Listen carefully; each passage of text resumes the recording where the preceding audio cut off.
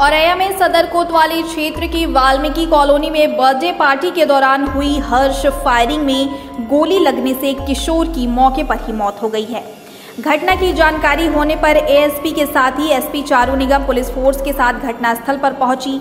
बताया जा रहा है कि वाल्मीकि कॉलोनी में एक घर में बच्चे का बर्थडे कार्यक्रम आयोजन किया जा रहा था। नीचे कमरे में केक काटा जा रहा था। वहीं ऊपर वाले कमरे में चार पाँच लोग बैठकर शराब पी रहे थे।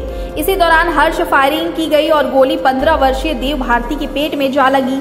गोली चलने की आवाज़ सुनकर वहाँ मौजूद लोग मौके पर पहुँच गए और घायल देव को जिला अस्पताल भर्ती कराया, जहाँ डॉक्टरों ने उसे मृत घोषित कर दिया। एसपी चारू निगम ने बताया कि परिजनों की तरफ़ से किसी प्रकार की कोई तहरीर नहीं मिली है। तहरीर मिलने के बाद आगे की कार्रवाई की जाएगी। एक देव भारती नाम का बच्चा उसके परिजन लेके आए हैं। आए थे पंद्रह साल का है जो गंभीर अवस्था में आया था जिसको देखने के बाद उसका चेकअप देखने के बाद चेकअप करने के बाद उसको मृत घोषित कर दिया गया है और उसको पोस्टमार्टम के लिए भेज दिया गया है। ये थाना कोतवाली अंतर्गत वाल्मीकि कॉलोनी है।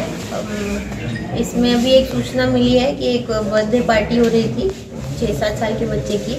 उसमें नीचे पार्टी हो रही थी एक भोले मंदिर के पास और ऊपर कुछ लड़के हम उम्र शराब पी रहे थे और उस दौरान एक लड़का है, देव नाम का, अठारह साल का, जिसको गोली लग गई।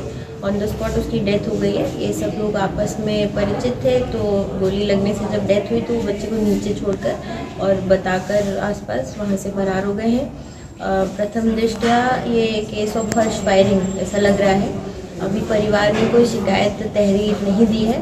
परिवार अभी डेड बॉडी को कब्जे में लेकर पोस्टमार्टम के लिए भेजा जा रहा है। जो भी तहरीर इसमें प्राप्त होगी।